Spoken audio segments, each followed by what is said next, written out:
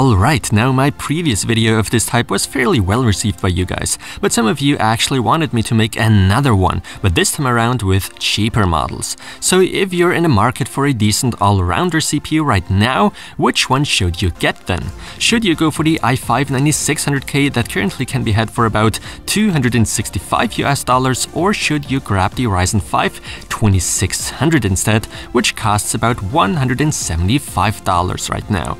Now the question question sure does make sense, because both actually come with 6 cores. The Ryzen counterpart in fact even features SMT, giving that CPU 12 threads in total. But why does the i5-9600K by Intel cost a fair bit more? Could it make sense to just go down the Intel route? Well, that's a question that doesn't come with a simple answer. And I already see it coming, an army of Intel and AMD fanboys respectively trying to bring me down for what I'm saying in this video video. I'm certain I will be offending a person or two, but let me assure you, I'll try to judge as objectively as I can. I'll just put all the facts on the table, that's all. I could miss a few things of course, but hopefully I won't. Just like in my last video with the 9900K and the 2700X, I can only repeat myself here, it doesn't make a whole lot of sense to go out and buy a CPU now. If you can and are willing to wait, I'd suggest waiting for AMD to launch their new Ryzen 3000 series first. We are hearing lots of promising things from the rumor mill, and if those things actually turn out to be true, we could be looking at a really interesting time when it comes to CPUs. We'll then then have two paths we can go down.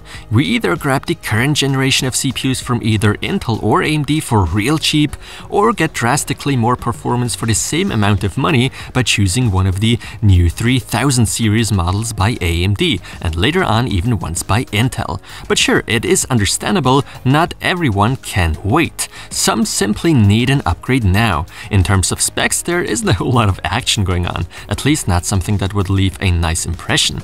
But hey, it's two 6-cores head-to-head, one of which even comes with double the amount of threads. So this in theory could be a win for AMD when it comes down to aspects that heavily rely on high multi-threading performance. But to be honest, in this price range, most are looking for gaming performance, and it is known Intel is doing really well in that aspect. But how about this? Could you save yourself some money for gaming by simply going with the cheaper Ryzen 5? Well, that remains to be seen.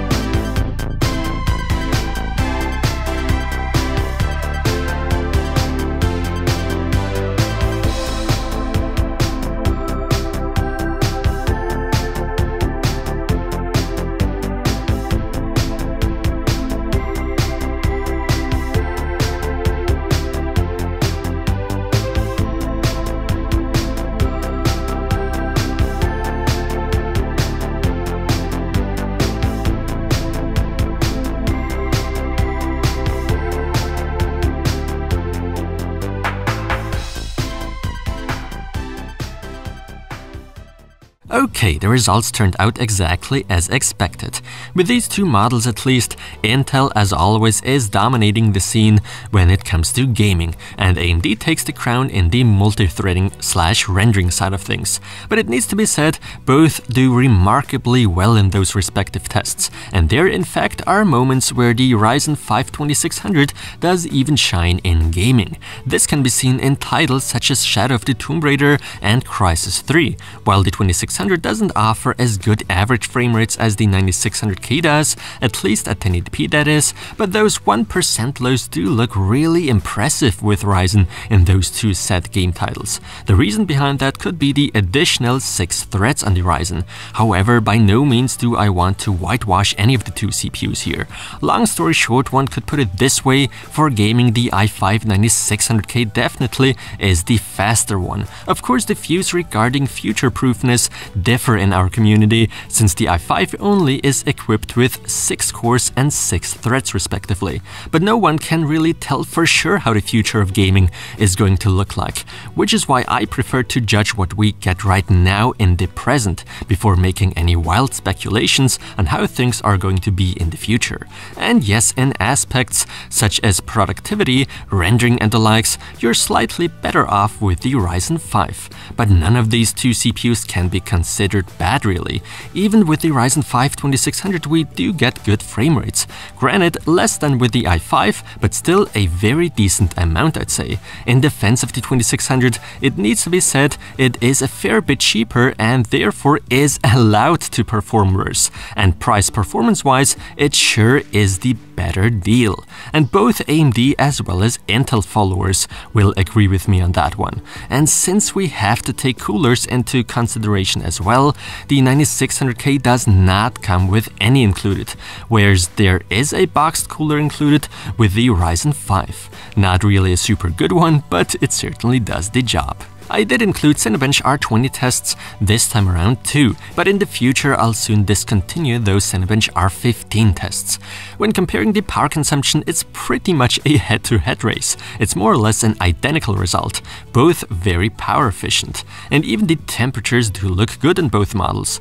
I was using a 240mm AIO liquid cooler by the way.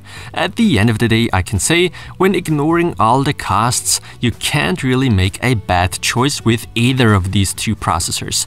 Both do really well in gaming and rendering. The i5 is better at gaming, the Ryzen 5 is better at rendering. In the end, it's a matter of cost and maybe even a bit of sympathy. The 9600K currently costs $265 and there is an additional cost for the cooler that needs to be considered. Whereas with the Ryzen 5 2600, it's just the $175 and that's it. A cooler is already included, so no additional costs. But sure, in this price range, most are probably on the hunt for the best possible gaming performance.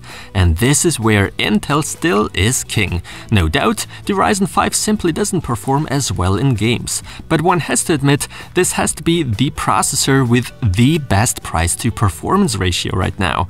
No other CPU offers this much all-around performance. So I hope I didn't make too many new enemies enemies with this video, but please simply treat this video as small advice. After all, it is you that has to make the decision, I just wanna help. And with that said, thanks a lot for watching.